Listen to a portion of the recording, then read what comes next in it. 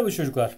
Bu hafta Anneler Günü yaklaşıyor ve annelerimize güzel bir hediye yapacağız. Daha doğrusu onlarla ifade ettiğiniz çok güzel bir çalışma yapacağız. Derslerimizde yapmıştık ama tekrar yapmak isteyen olur, tekrar hatırlamak isteyen olursa diye beraber burada şimdi onlarla ilgili tekrar çok güzel bir çalışma yapacağız.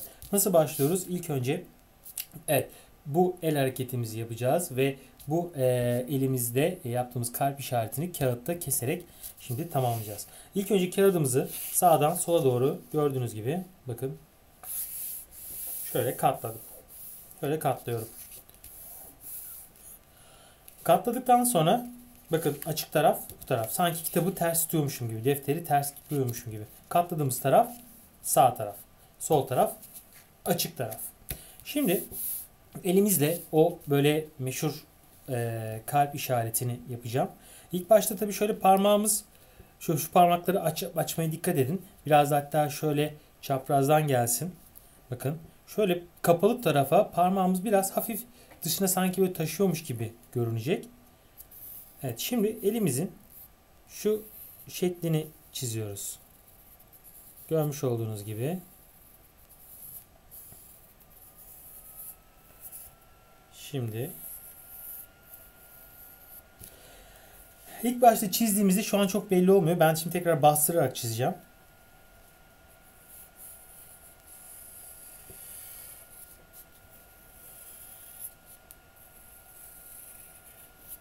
Biraz daha bazı yerlerde böyle eğri büğrü olmaması için düzeltme yapıyorum. Gördüğünüz gibi. Bakın. Bazen ışıktan parlama yapabilir. Şöyle tutayım. Evet. Şimdi bu kısma geldiğimizde tam böyle o kalp işaretini yapabilmemiz için Kalbi yarım kalp yapıyorum çocuklar. Bakın.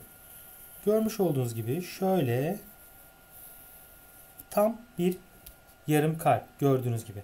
Daha sonra burayı yaklaşık şöyle 3 aşamada 1, 2, 3 aşamada çiziyorum. Altını da yine aynı şekilde bastırarak şöyle elimin üzerinden gidiyorum. Ama yalnız bu sefer burayı biraz ne yapıyorum? Altı kıvırdım. Burada önemli nokta çocuklar bakın şu iki yeri kesmememiz gerekiyor ki elimizin devamlılığı için. Şimdi kağıt altına bir izi çıkmış çizdiğimizin. Şimdi ee, bunu makasla keseceğim çocuklar. Makasla keserken bakın başta o yarım kalp olan kısmı da başladım.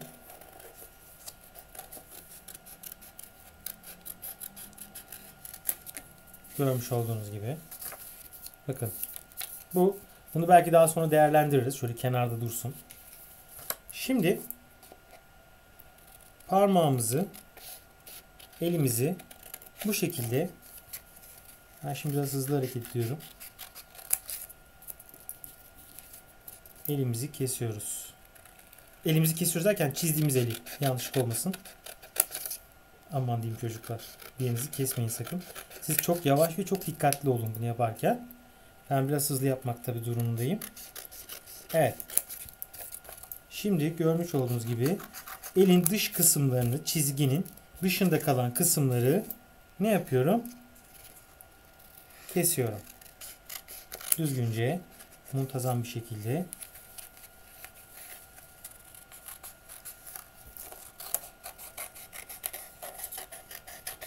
Evet. Buraları kesmiyorum. Bakın görmüş olduğunuz gibi şu kısım şu kısımları kesmeyeceğim. Çünkü onlar elimizin o hani diğer kısmını oluşturacak. Ee, sağ el ya da sol elle solak olanlar için de tabi kağıdı da tam tersi yapacaksınız. Benim yaptığımın tam tersini solaklar için hatırlatayım. Bugün çünkü derste de oldu birkaç öğrencimiz. Onlara da anlattım. Şimdi bakın görmüş olduğunuz gibi açıyorum ve elimiz çok güzel bir şekilde çıkıyor. Şimdi nasıl neler yapabiliriz bunun üzerine? Hemen anlatayım. Hemen şurada keçeli kalem alacağım. Evet. Keçeli kalemle bakın şimdi ilk başta bunu böyle bir bunu tabi boyayabiliriz ama ben biraz böyle annelerimizle yaşadığımız anne e, illa Evet mesela teyze de olur. Anneanne de olur. babaanne de olur. Hatta teyze için anne yarısı derler. Ee, yapabilirsiniz. Tüm aile büyükleriniz için, onları sevdiğiniz tüm aile büyükleriniz için onlarla olan böyle hatıralarınızı, onlarla olan böyle güzel yaşadığınız anılarınızı burada şimdi Evet, bir elimizi bu şekilde çizdim. Bir tasarım yapıyoruz aslında. Şimdi ben de kendi annem için yapacağım. Onunla yaşadığım böyle bazı sok bazı böyle güzel anıları buraya yerleştireceğim. Bu arada bir tane resim yapıp resmin üzerine de bunu bu şekilde yapıştırabilirsiniz. Renkli kağıt kullanabilirsiniz. Ben elimde beyaz kağıt vardı. O yüzden beyaz kağıt kullandım. Ama tabii sizler de daha farklı kağıtlar deneyebilirsiniz. Ee, son dönemin en popüler sevgi hareketi olduğunu düşünüyorum. Benim de çok hoşuma gidiyor. Bazen derslerde yapıyorum bunu. Evet şimdi bir tane büyük el yaptım. Bunun içine de e, bazı e, bugün e, aklıma gelen şeylerden bir tanesi. Şimdi içine de bir tane küçük el yapacağım. O küçük eli de nasıl yapıyorum? Hemen yine bir tane daha kağıt alıyorum. Temiz bir kağıt. Şimdi bunu şöyle ikiye katladım. Bu burada bir dursun. Bu elimiz burada bir dursun. Şimdi bunu tekrar yine sağdan sola doğru bakın. Şu şekilde katladım. Bu sefer şu elin küçüğünü yapacağım. Biraz ona bakarak, biraz onu taklit ederek ilk başta şu kalple başlayayım ki iç kalpli şu kalbin iç kısmını bakın şu şekilde şöyle küçük böyle minik bir el olsun bu. Yine şu parmak olsun. Şu küçük parmak olsun. Da şöyle. Şurayı. Şimdi baş parmağı yapıyorum.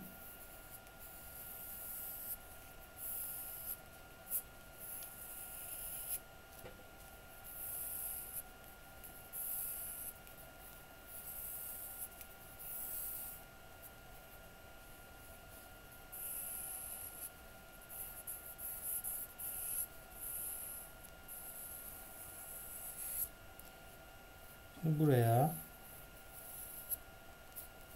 bu şekilde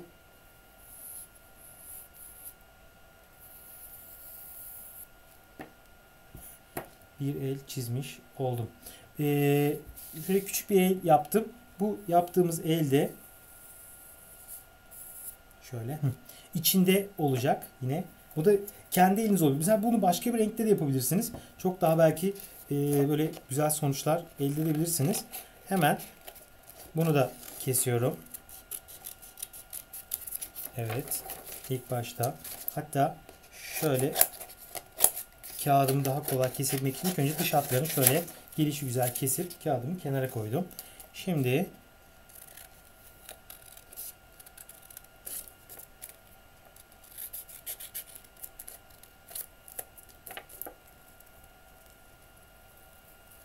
Evet. Bu bir parmak. Bu diğer parmağı şu anda çiziyorum. Evet şimdi diğer parmak. Evet. Şimdi serçe parmak.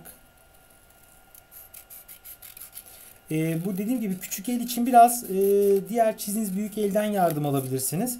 Ya da e, evde mesela aile büyüğünüzün bir elini hemen şöyle kalıbını alıp diğer küçük eli de kendi elinizi kullanabilirsiniz. Evet. Şimdi kestiğim parçaları da kenara kaldırıyorum. Evet bu da bizim diğer küçük elimiz olacak. Bu da gayet güzel oldu. Şimdi hemen bunu ne yapıyorum? Bunun dış hatlarını da bunu tabi e, zamanımız e, olsa bunu böyle daha da boyayabiliriz çocuklar.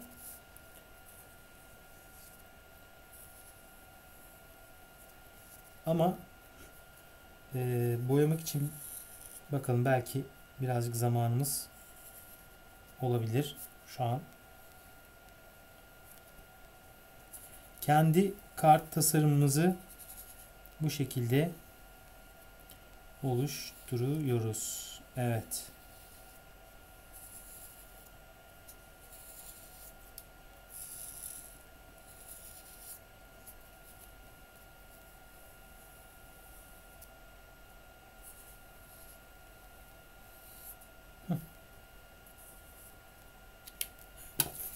Evet. Bir tane büyük elimiz vardı. Mesela bunu farklı bir renkten yapıp bunu da içine şöyle küçük bir el oluşturabiliriz. Peki peki başka neler yapabiliriz bununla ilgili? Elimizde artan kağıtlar vardı. Mesela ben ee, buna bir kanat yapmak istiyorum. Kanatı yapacağım kanat bir kanat yapacağım. Şimdi elimizde yine böyle kağıt vardı katlanmış. Fazla artık kağıtları değerlendirelim. Örneğin şimdi buraya böyle büyük bir çizgi çizdim. Şöyle bakın yarım daire gibi. Çizgide görmüş olduğunuz gibi. Şu şekilde. Daha sonra 1, 2 ve 3 parça. Şimdi şununla ilk önce bir daha net görebilin diye. Bakın yarım daire çizdim. Sonra 1, 2 ve 3. Şimdi bunu kestiğim zaman aynı parça burada da buraya çıkacak. O yüzden iki kanat elde etmiş oluyorum. Evet bakın.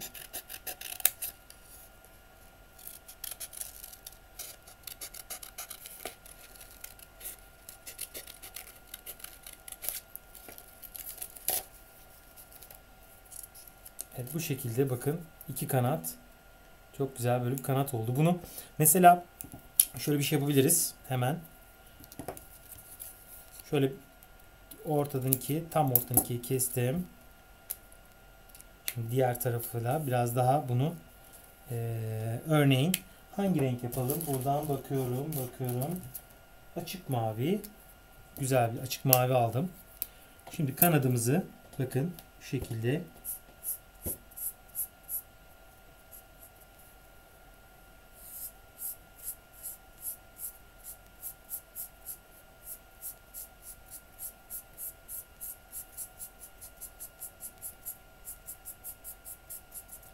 Şöyle göstereyim yakından. Bakın böyle açık maviye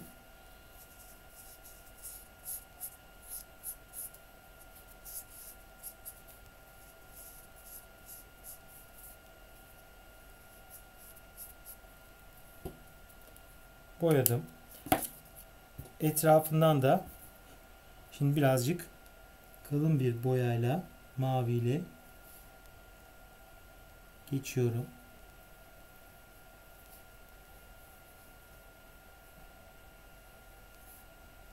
Bakın nasıl dağılıyor boya. Çok az. Şöyle bir heh, efekt de verdim hatta. Bakın.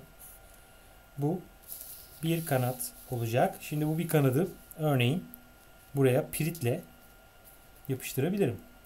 Şimdi diğer kanada geçiyorum. Bunu da aynı şekilde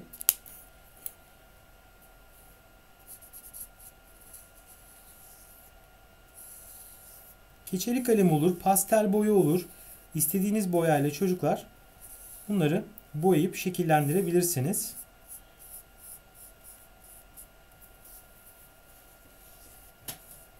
Evet, bunu da açık maviye boyadım. Şimdi yine koyu mavi ile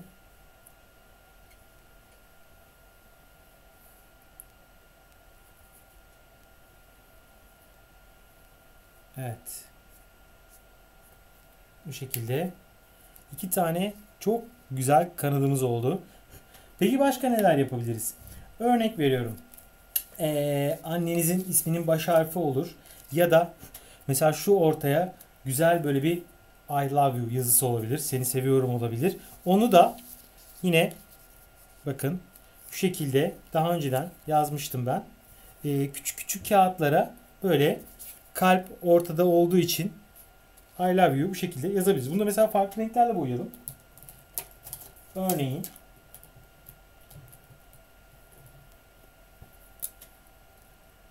ben şu rengi aldım. Dış hattını böyle bir yeşille boyuyorum.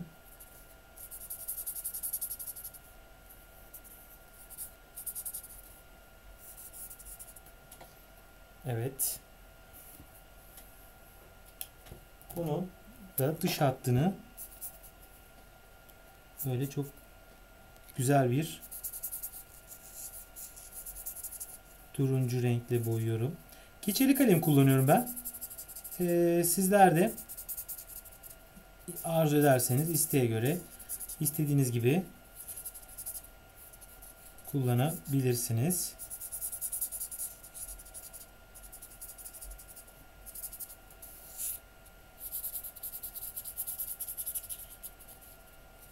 Evet. Bu şekilde örneğin boyamış olduk. Şimdi içlerini boyayalım. İçlerinde de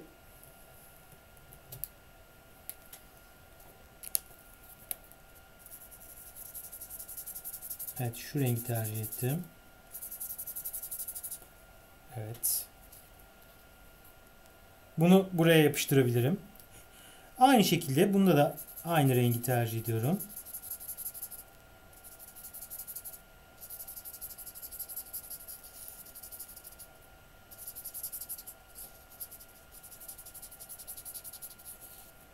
Daha sonra piritle yine bakın bunu böyle yapıştırabiliriz.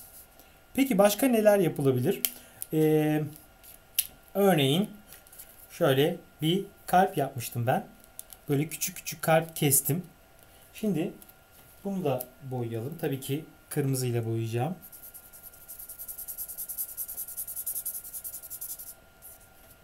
Evet. İçindeki kalpleri de kırmızı boyuyorum. Daha sonra dışındaki kalan alanı da yine şu açık mavi kanatları boyadım. Açık mavi tercih ediyorum. Çok acele etmeden sakince bakın bunu da istediğiniz yere yapıştırabilirsiniz. Peki bunlardan birçok yapabilirsiniz. Peki başka neler yapabiliriz? Örnek veriyorum. Buraya çok basitçe böyle bir anne figürü ya da yaptığınız kişinin aile büyüğünün bir ee, çalışmasını böyle basitçe yapabiliriz. Biraz daha böyle hoş böyle gülen bir yüzle. Şimdi bunu da yine boyamaya geçiyorum. Daha önce çizmiştim bunu da. Yine vakit kazanmak için. Evet. Saçlarını boyayacağım.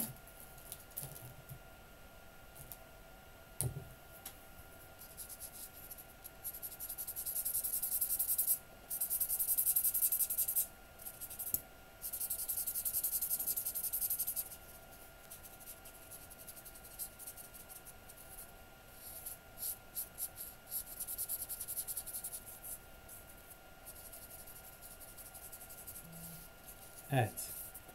Saçlarını boyuyorum. Kazağımızı boyuyorum. Tişörtünü. Onu da mor yapacağım. Mor rengini de çok severim.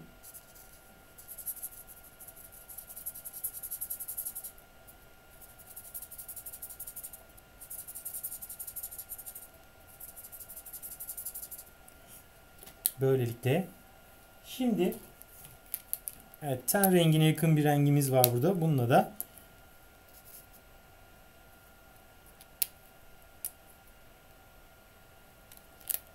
tam tersi olmalıydı. Evet, renk kapakları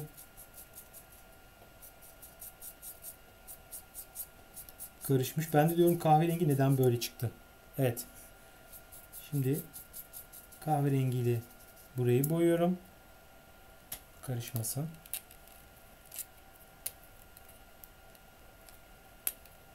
Bunu orijinal kapaklarını takalım.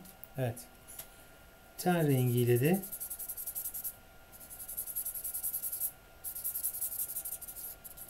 bu şekilde çizmiş olalım. Arka fonu da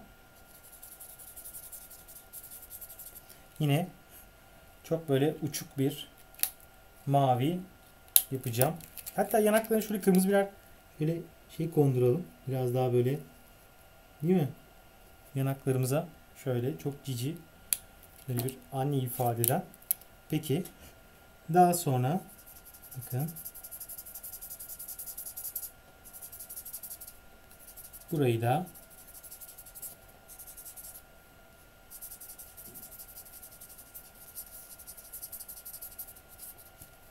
ben mesela bunda bu şekilde koymuş oldum. Peki başka daha neler yapabiliriz? Ee, örnek veriyorum. Bakın burada böyle bir zarf var. Zarf gibi. Ee, bunda hemen sizler için şöyle boyayalım.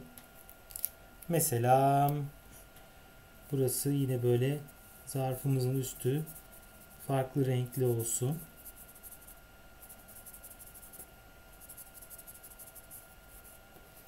Böyle sanki biraz daha böyle şöyle yaklaştırayım. Çizmiştim.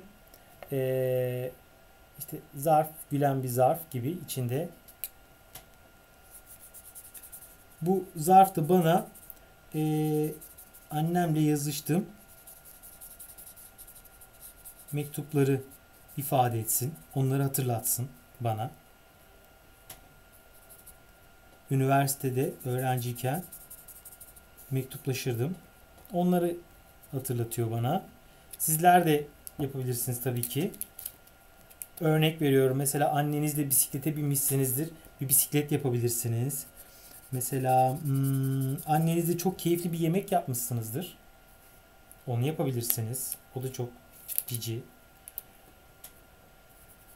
Böyle sizin hatırladığınız, annenizle böyle beraber yaptığınız bir anınız varsa onları ekleyebilirsiniz ve tamamen onunla ilgili bir görsel çalışma oluşturabilirsiniz. Evet bunu da ekledim. Son olarak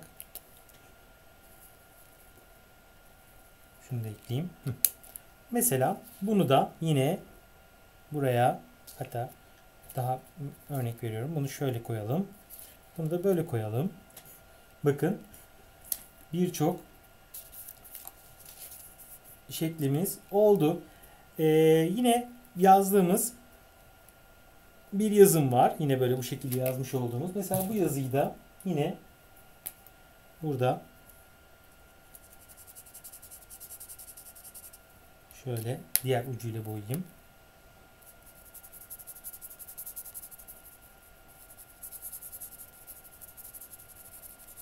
Renkli bunu mesela rengarenk yapabilirim. Yeşil, turuncu,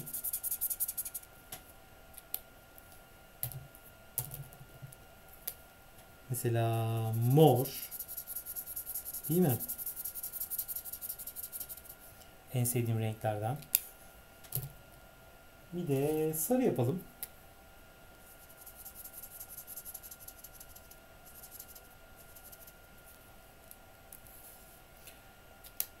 Dışını da yine açık maviyle